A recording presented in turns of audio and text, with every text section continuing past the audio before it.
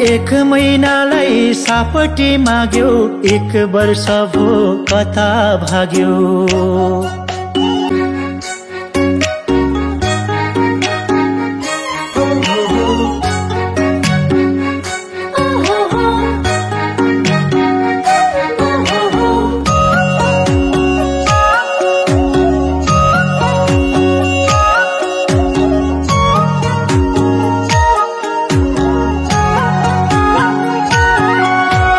एक महिनालाई सापटी माग्यो एक वर्ष भो कता भाग्यो।